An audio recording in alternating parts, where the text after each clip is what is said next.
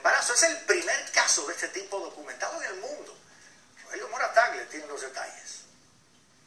Una trabajadora de la salud de primera línea que fue vacunada en la recta final de su embarazo dio a luz a una bebé que nació con anticuerpos de COVID-19. Fue el primer caso de un recién nacido con estas defensas después de que la madre se vacunó, dice el doctor Chad Rudnick. La madre, que se mantiene anónima, tenía 36 semanas de embarazo cuando recibió la vacuna de Moderna. Tres semanas después nació la bebé con todo y anticuerpos. The mother was able to not only be protected herself from COVID-19, but also to send some of that immunity, send those antibodies to the baby through the placenta that will help to protect the baby after they're born.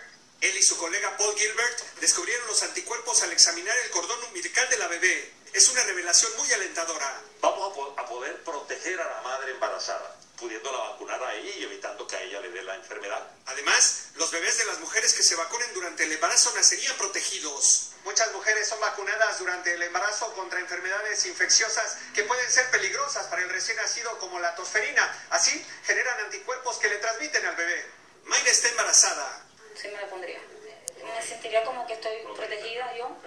Protejo a, los que están alrededor mío y protejo a mi bebé. Pero muchas latinas embarazadas tienen dudas. Es increíble cómo nuestra población latina vive mucho más de los conceptos populares que de la educación que da la prensa, los medios masivos de comunicación o nosotros los médicos. Y sobre la bebé que nació con los anticuerpos, The baby is, is, is healthy. el doctor Rudy asegura que está saludable y creciendo. Rogelio Moratagle, Noticias Telemundo.